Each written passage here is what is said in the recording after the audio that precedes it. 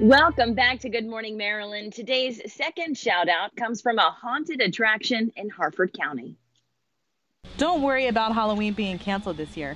At Legends of the Fog, we have a drive through haunted attraction just for 2020. Please reserve your tickets online at legendsofthefog.com. We're open, Baltimore. Thank you so much to Legends of the Fog for that great shout out. Halloween is just 23 days away. What better way to celebrate?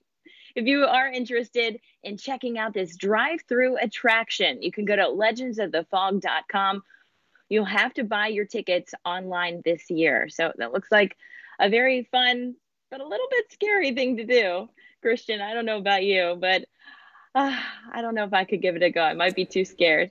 If you would like to record a We're Open Baltimore video, email it to me at lauren.cook at WMAR.com.